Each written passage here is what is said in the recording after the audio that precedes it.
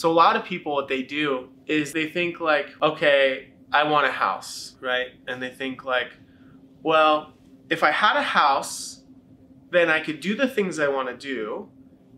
And then once I could do the things I want to do, I could be the person I want to be, right? But it's totally backwards. What's crazy is the people that have the stuff that you want, what they've done is they flipped that around. Instead of the have, do, be, they are be, do have.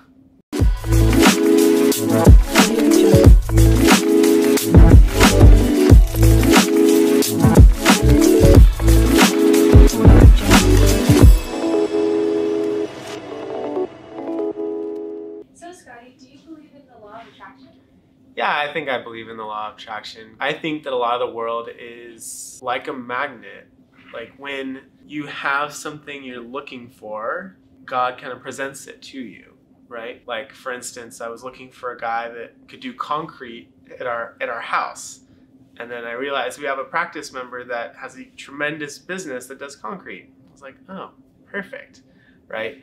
Or it could be like when I first wanted a partner, I was in college and I was telling my roommate, like, here's all the things I was looking for in a partner. And Kayla popped into my life like a couple days later, a week later, whatever it was. But I wasn't ready for her.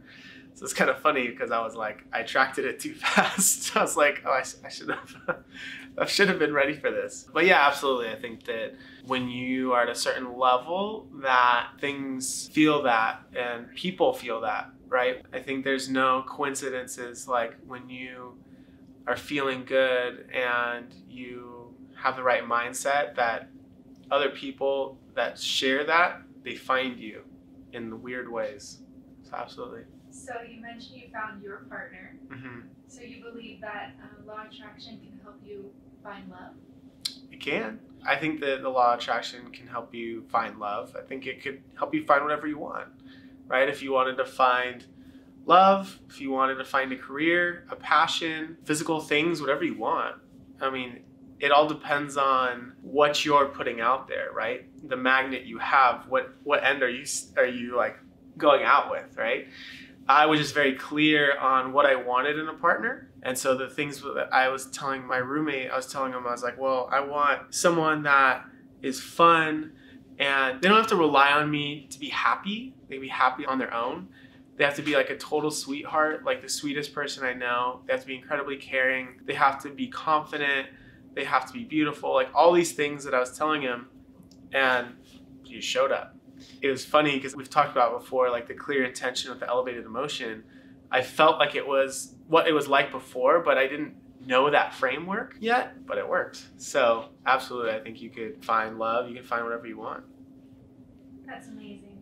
So, how would you say person listening today could start using the law of attraction? So, how could anyone today that's listening to this start using the law of attraction? It's kind of like like for me, you know, I went to Catholic school growing up and our teachers would tell us like, you know, treat people the way you want to be treated, right? And you hear that and you wear like a little bracelet too about like what would Jesus do? And you're always thinking about those things, right? As a kid. And then as I've gotten older, I've realized I was like, well, not only do I want to treat people the way I want to be treated, I want to treat everything the way I want to be treated back, kind of, if that makes sense. So, what I would say is focus on the way you want to be first, and then that will find you. So, a lot of people, what they do is they think, like, okay, I want a house, right? And they think, like, well, if I had a house,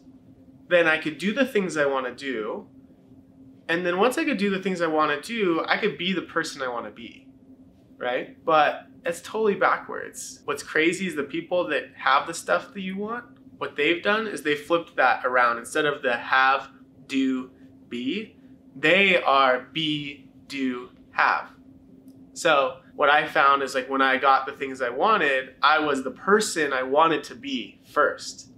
That person is allowed to do the things that that person wants to do and is able to have the things that that person wants to have, right?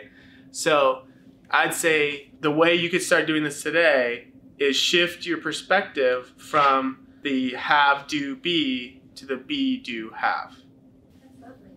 So, how do I know if I'm using the law of attraction properly?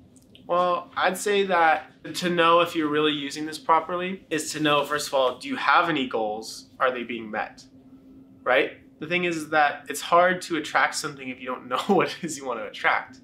Right? If you're saying, like, oh, well, I want a great life, what does that mean? What does that look like to you? A great life to me might not look a great life to you. There are things that, depending on your values and your vision story, it could be different right? So for me, what I see as something that's successful in my life would be if I give any person I interact with a little piece of value or knowledge that allows them to be better in their life, that's success to me. And people I connect with on a deeper level, if it's more value, then that's even more success. So, what I would say is the first thing you got to really do is like set your values, set your intentions and your goals of like, what do I want? and then you start doing this formula to get those goals and then that's kind of how you know like well it's working if i'm reaching those or not because i'm like attracting the right things to me to help me and there's no problem with asking for help and collaboration because that's the way you speed everything up right i sought out a lot of mentors that you know helped me like people that have been on my podcast like my dad glenn dr leah roy there's like all these people, Tom, that have helped me and have mentored me, and you know, it's allowed me to to get so much better and to reach those goals. That's awesome. So, on average, how long does it take to manifest something? So, how long does it take to manifest something? So, this is something that I talked about with one of the uh, people I was trying to help, one of our our interns that's now in school, and she asked me this too and I said, well, it depends on a lot of factors. Because the thing is, is that like if you're trying to say like, oh, I to manifest like something that's like way far away, like when I'm older, this like obviously that's not not gonna like speed up time to be an older person. But what we talked about was kind of like if you're developing any skill. So it's kind of like, okay, well, I'm in the gym and I'm doing squats and I want to be able to squat more. Well, the more that you work on your legs and all the supporting muscle groups and you know, remove the interference that's keeping you from that and you're doing the right nutrition and you're committed and you're consistent, you're to get it faster than someone that goes in once a week that doesn't eat well, that doesn't think right, all those things. So it's kind of the same thing. It's a it's a skill that if you do it consistently, you'll get it faster. So that's really up to the person and the amount of effort they want to put in.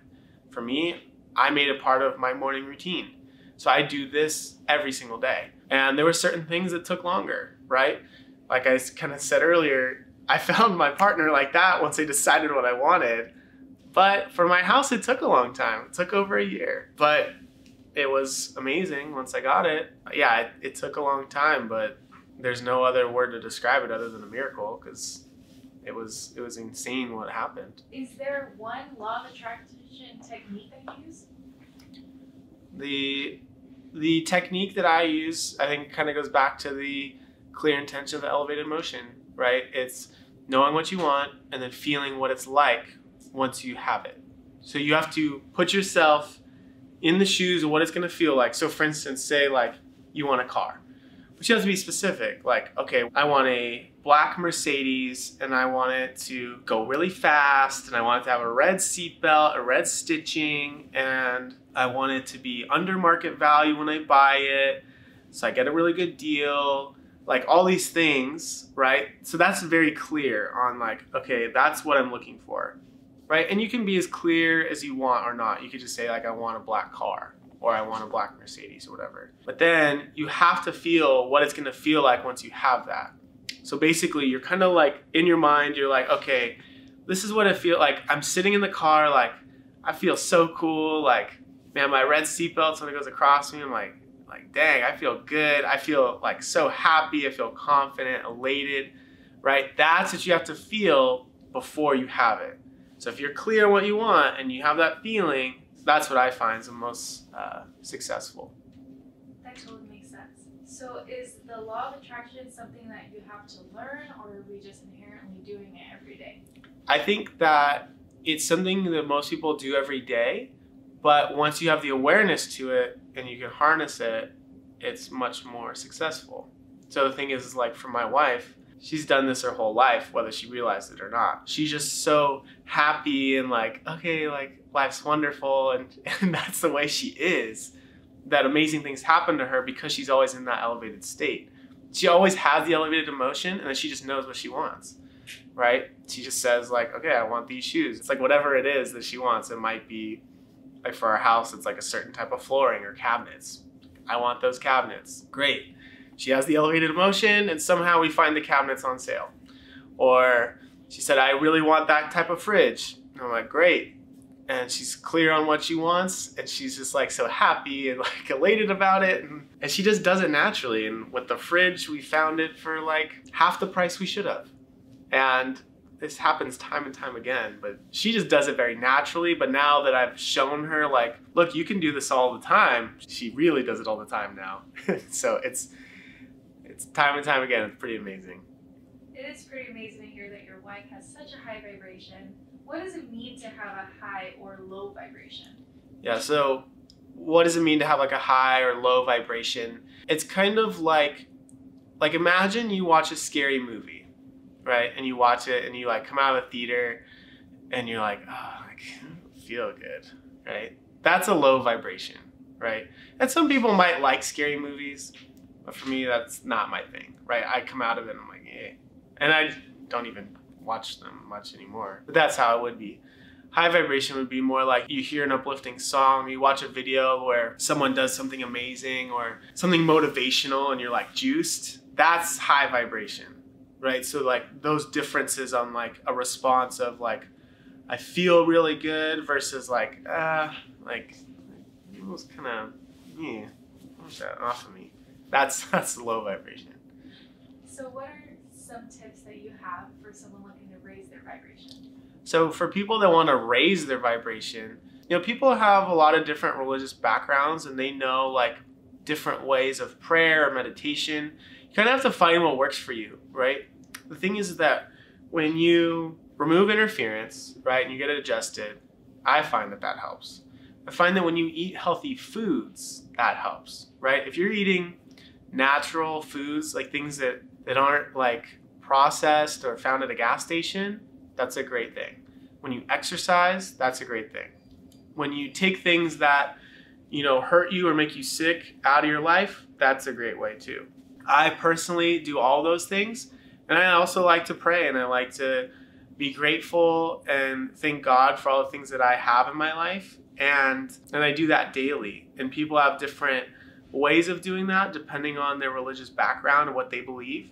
But I would say, you know, finding whatever faith you have and finding like what what connection you use within that, whether it be prayer, meditation, or some sort of ritual that you do, and using that. And I feel like that's a really great way. I think also connection with other people.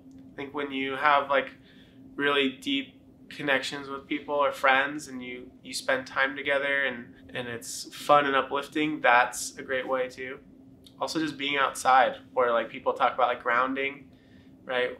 That's a great way as well. Definitely. So what advice would you give to someone who's looking to study and learn more about law of attraction?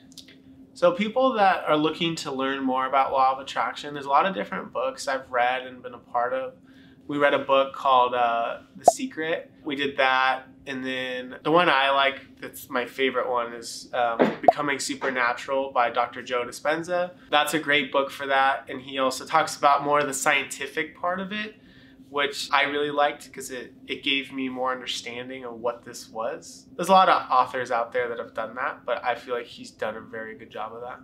So this is the Miracle Academy podcast with your host Scotty Cooper. We talked about the law of attraction today and let me know in the comments like what things are you attracting. Don't forget to like and subscribe and to share. And uh, thank you so much for watching. And this is where miracles are expected.